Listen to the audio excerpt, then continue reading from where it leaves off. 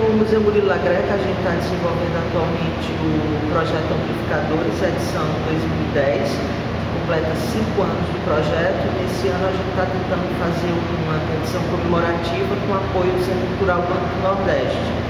Outra meta aqui do museu esse ano é uma readequação da reserva técnica, então a gente está canalizando energias para é, desenvolver um projeto de adequação técnica do novo mobiliário do Trainés e também com novo espaço físico para reserva, além de um projeto que nós temos que é a construção de, um, de uma galeria aqui por trás da casa, uma galeria onde comportaria todos os projetos de arte contemporânea.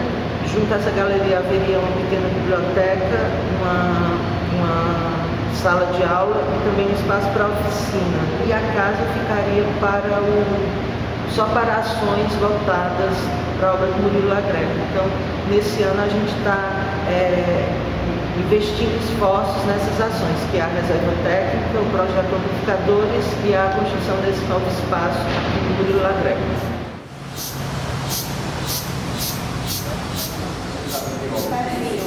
Então, então hoje a gente está tendo é mais informação, né?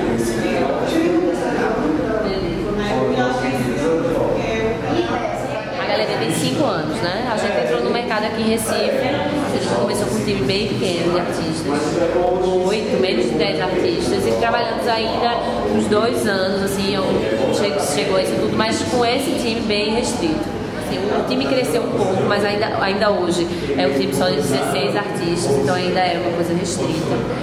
Nesse período, essa primeira geração que começou com a gente é uma geração hoje, é uma geração 80, digamos assim, uma geração que hoje está perto dos 50 anos de idade. Zé Patrício, Gil Vicente, Marcelo Silveira, é, Martinho Patrício foram os artistas que mais ou menos começaram a galeria, começaram a galeria.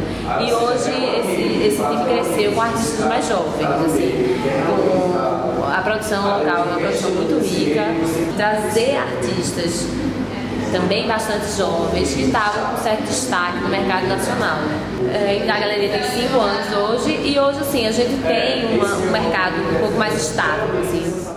A coordenadoria, essa coordenadoria é a coordenadoria de capacitação é, e difusão científico-cultural é uma enfim, é um braço da diretoria de cultura que busca, obviamente, a formação, é o primeiro ponto, é a formação, mas uh, no sentido mais amplo. Então, a gente pensa muito o nosso lugar, que não é o lugar da academia, mas pode também vir a ocupar é, algumas lacunas da academia. Nós também não somos arte educação, mas podemos alimentar grupos de arte educação. Então, na realidade, a gente pensa a coordenadoria como um lugar extremamente amplo, provisório e, e, e, e multifacetado uh, para gerar conteúdo e para gerar, obviamente, uma formação em especial da cultura contemporânea. E aí pode ser do teatro, da dança, das artes plásticas, da literatura. E aí começamos com os cursos avançados, cursos de longa duração, é, grupo, uma espécie de grupos de estudo em que um tutor uh, orienta seminários leituras de pessoas de vários campos que são interessadas em determinado assunto. A gente notou como faltava formação preliminar. E aí, esse ano, a gente já partiu para uma questão mais ampla, que é trabalhar com vários tipos de público. Então, a gente vai ter cursos introdutórios, esses cursos de longa duração, é, cursos que é, alimentam, é, como se diz, pessoas que já estão envolvidas na discussão da arte contemporânea, como é o Pensando Contemporâneo.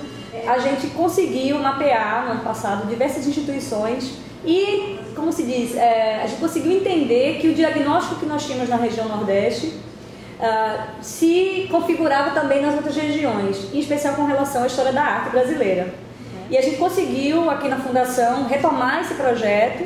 Né? E, por exemplo, em 2008 nós chegamos a fazer um evento, uma história da arte em Pernambuco, com uma interrogação, é, um workshop para discutir metodologias, discutir pontos de vista e possibilidades de abordagem dessa, dessas histórias da arte que eh, não se encontram nos centros hegemônicos. Eu acho que a Fundação, realmente, o, o seu papel em Recife já é completamente consolidado, inclusive está sendo revisto.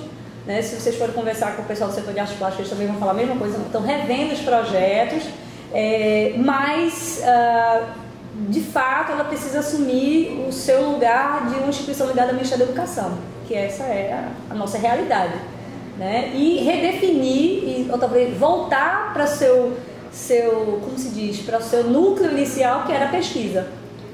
Né? Então a gente acredita que o papel da Fundação e da CADIF em especial é fomentar o lugar de uma pesquisa independente também, uma pesquisa que tem mais agilidade por não precisar de trâmites burocráticos das universidades, mas também, obviamente, nos alimentando da universidade. Eu acho que a gente pensar como Pernambuco pode contribuir né, com, é, com pensamento, com fazeres do Estado mas tirando-se o viés regionalista que reduz, né, que é, é, estreita bastante o, o, campo de atuação, redefinindo esse lugar é, e criando pontes com o resto do Brasil.